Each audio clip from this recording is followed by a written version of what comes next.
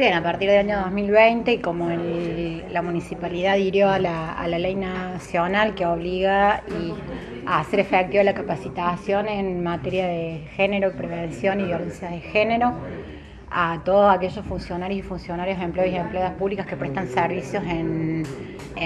los tres poderes del Estado, digamos, y bueno, a la cual la Municipalidad de Villa Carlos Paz adhirió como una forma de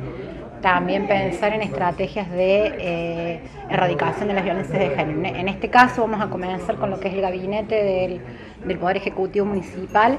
a los efectos de poder también poder pensar un poco lo que significa la, transversalidad de género en las políticas públicas. Si vamos a trabajar, por supuesto, con los ejes de, prevención, marcos, marcos normativos en términos de violencias de género, vamos a agregar también los,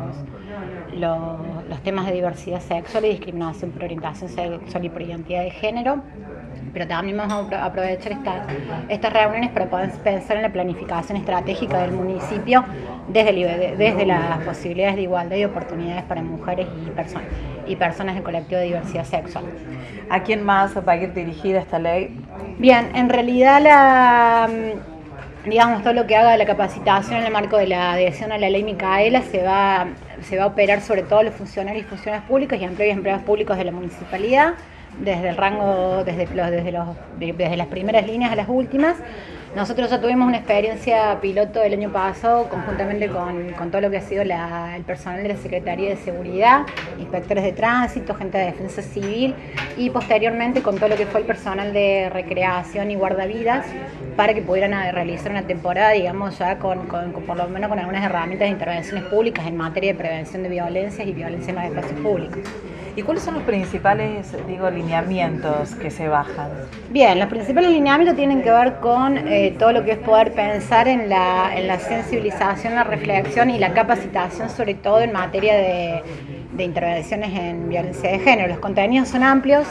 Eh, básicamente, por, un lado, vamos a trabajar con todo lo que tiene que ver con el concepto de género, igualdad,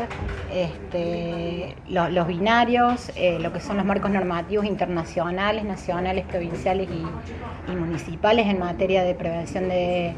en, materia de prevención y erradicación de las violencias de género y también con los, con los tópicos también legales que tienen que ver con diversidad sexual y colectivo trans. ¿Hay conciencia, ustedes lo notan, en el público que, está dirigido? Tenemos, hemos tenido, a ver, habido una, en los últimos años ha habido un posicionamiento en las agendas públicas, tanto desde, la parte pública como la parte privada, en lo que tiene que ver con todo lo que es la movida, el movimiento de, mujeres, el posicionamiento en los medios, la sensibilización que, está generando, digamos, eh, cierta... Mm, em, cierta facilidad en, términos de lo, que es la instalación de, los temas en la en la opinión pública, lo cual hace que varios, temas sean mucho más fáciles de, poder trabajar y no constituyen un, factor obstaculizador.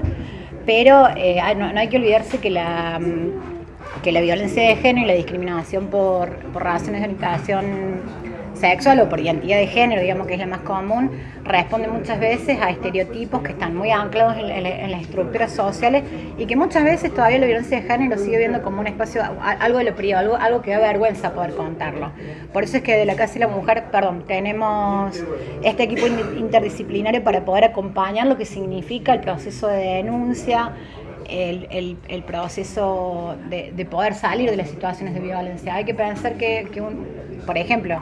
el recorrido que hace una mujer que empieza con, que, que, tiene, que, es víctima de situación de violencia, por lo general atraviesa unos 11 años desde que, desde que se puede detectar el primer, el primer indicio, el primer, el primer incidente, la primera situación de violencia para, para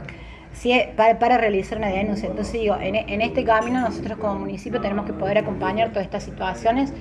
igual con lo que tiene que ver con la violencia en los espacios públicos. ¿sí? Eh, como, como, Carlos Paz, como municipio inclusivo, no puede eh, no tener políticas aplicadas en, lo que tenga que ver en los espacios de prevención, de erradicación, de respeto por las identidades de género, de respeto por los géneros sobre todo desde un punto de vista de la igualdad de oportunidades, porque al fin y al cabo estamos hablando de